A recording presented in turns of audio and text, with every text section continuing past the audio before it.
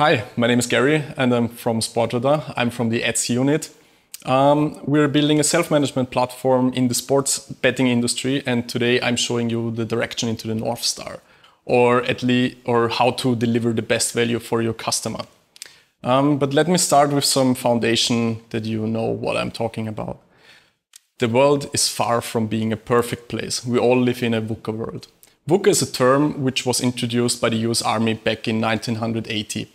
Um, it stands for volatile, changes rapid and unpredictable in its nature. Uncertain.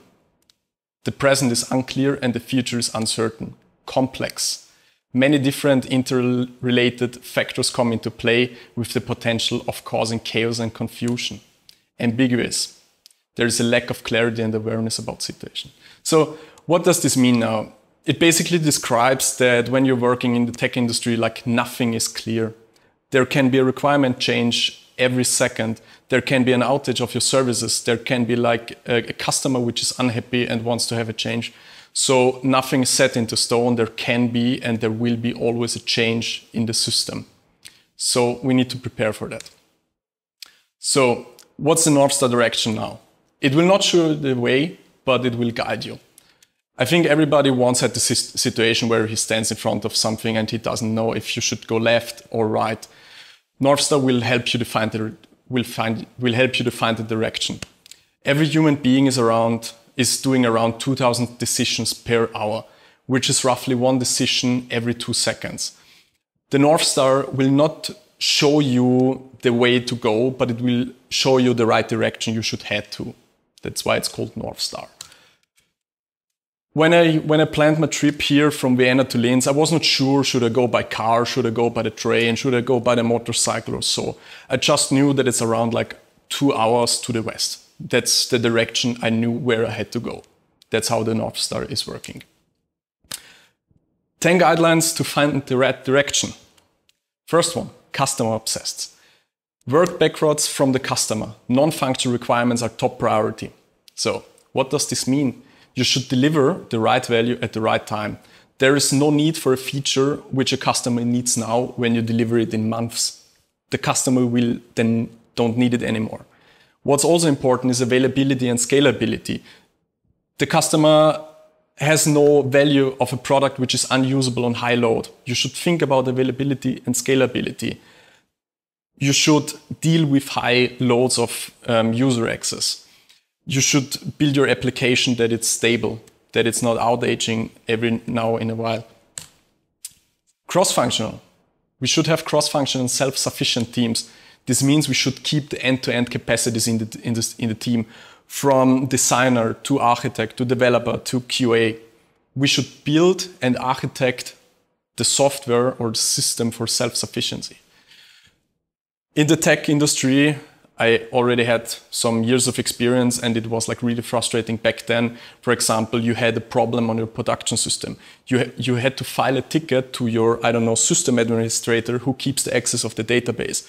Then you need to wait, for example, one to two weeks that you're getting a database dump. This is really frustrating and it's not helping at all. So that's why we, try, we try to keep the, the, the knowledge in this team separate and should be cross-functional from A to B or A to C.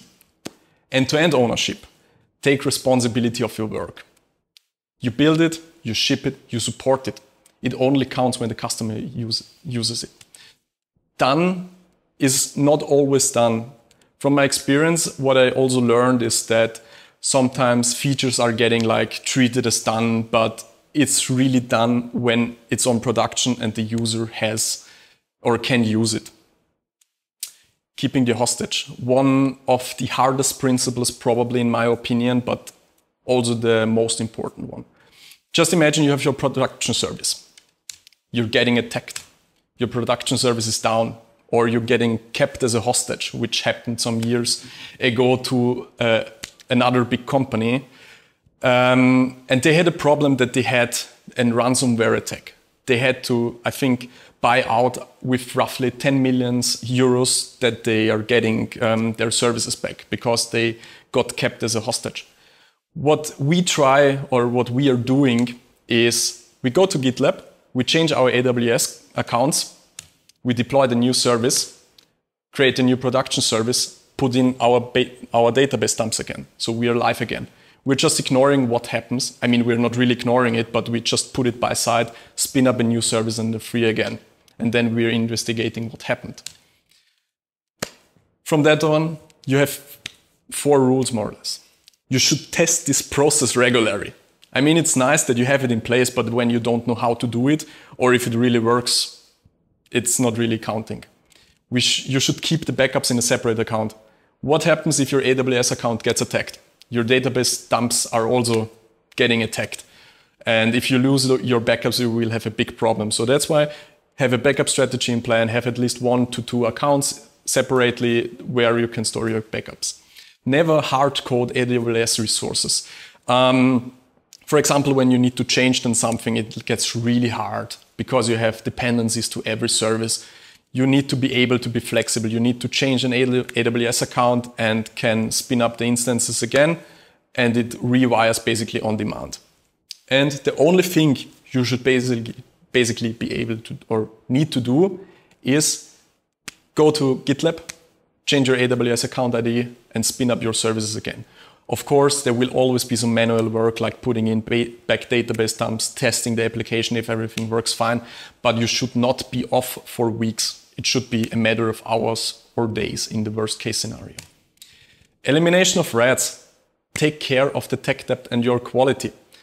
Um, track and resolving warnings frequently. This is a picture of um, SonarQube, which is a static code analysis tool.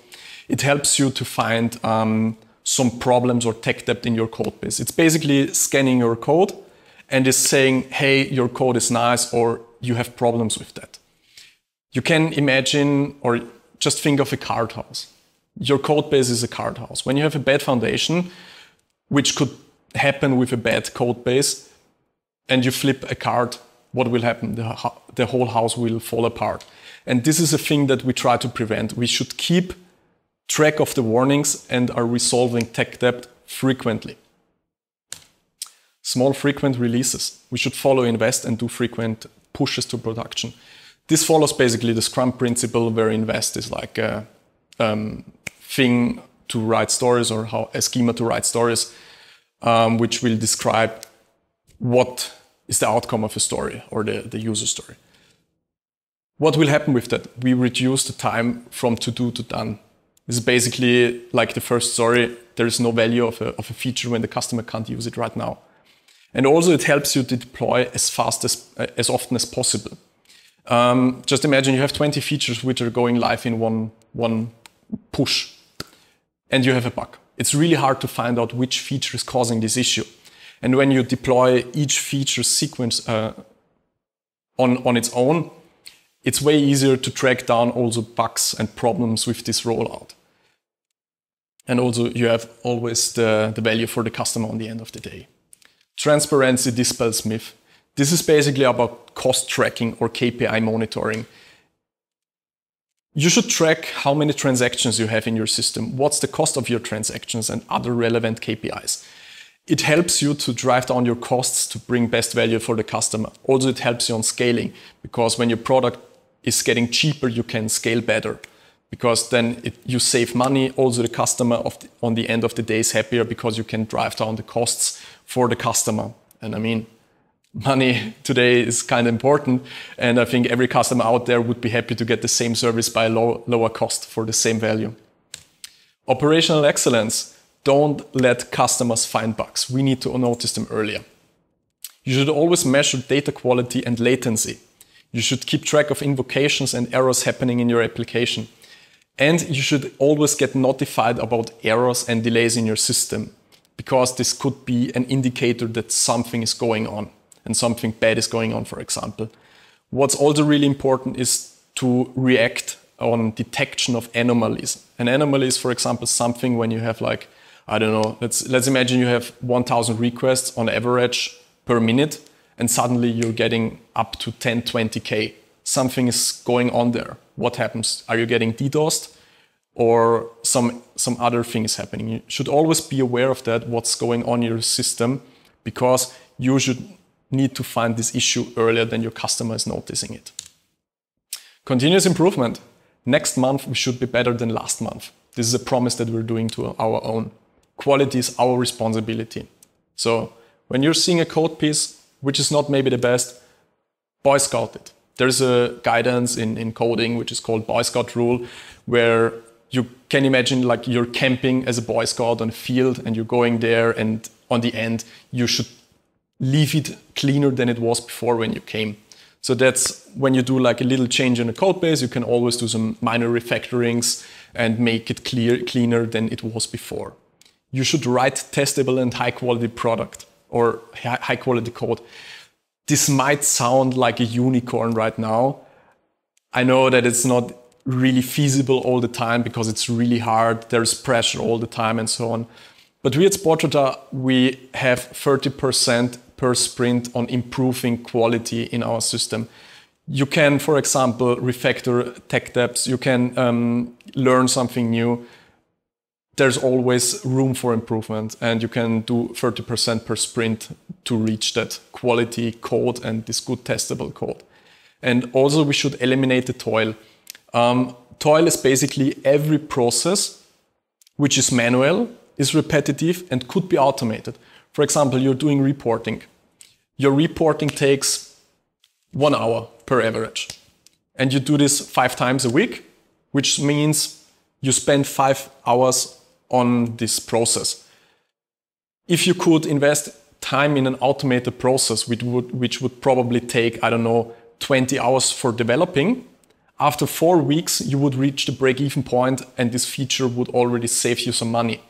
Basically, eliminate repetitive processes. That's our improvement. And my favorite rule is if it's not tested, it's broken. Do not make assumption that it works, verify it. You should have around 80% of test coverage. There is no hard rule, but you should strive for it. You should always make smoke tests and regression tests on every push. As well, infrastructure tests, integration tests, and system tests should be also there in place. Because if you don't tested it and you can't verify it, then you can assume it's broken. Because you can never be sure that it's, that it's perfect. Yeah.